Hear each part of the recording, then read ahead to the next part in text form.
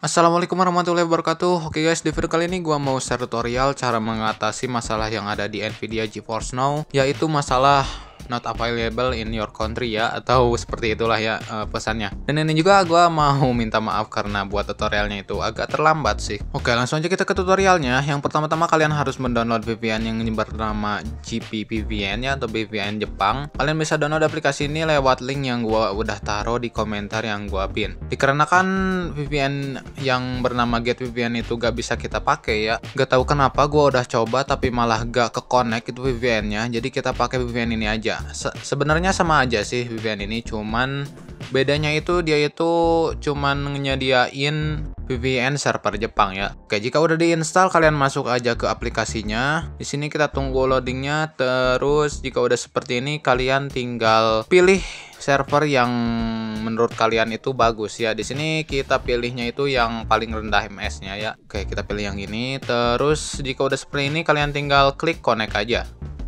sini kita klik yang ini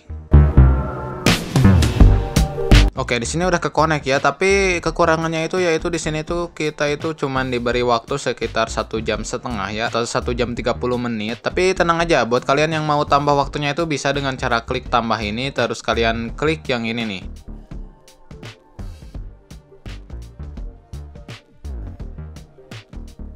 Dan secara otomatis bakalan langsung nonton iklan ya buat nambah waktu VPN-nya ya. Dan nambah waktunya itu sekitar 2 jam ya kalau nggak salah. Oke. Nah, di sini kita klik X.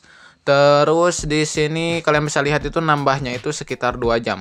Oke, jika udah ke connect seperti ini, kita langsung aja coba ke GFN-nya ya, yaitu GFN server Jepang ya, masuk ke aplikasi Nvidia-nya. Di sini kita pilih langsung Genshin Impact-nya. Kita klik play.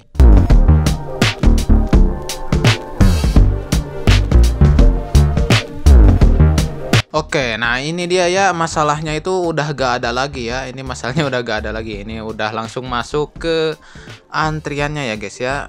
Oke.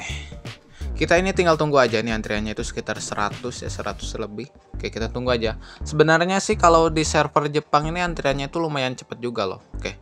Kita langsung aja skip. Oke, nah ini gua udah nunggu ya. Sebenarnya gua ini uh, nunggunya itu terlalu lama jadi sekitar semenit atau dua menit atau lima menit lebih ya kelewat gitu. Jadi antriannya itu gua nggak sempat record ya pas antrian ke satunya. Dan ini kalian bisa lihat jamnya ini nih. Dari jam tadinya jadi jam segitu sampai jam segini kalian bisa hitung aja berapa menit tuh. Oke. Nah, di sini kita udah masuk ke dalam gamenya ya. Di sini kalian tinggal login aja menggunakan akun Hoyoverse kalian atau akun Genshin Impact kalian. Nah, di sini gua agak bakalan login dulu karena jaringan gua ini agak ngelag-ngelag gitu. Jadi, yap, oke okay lah.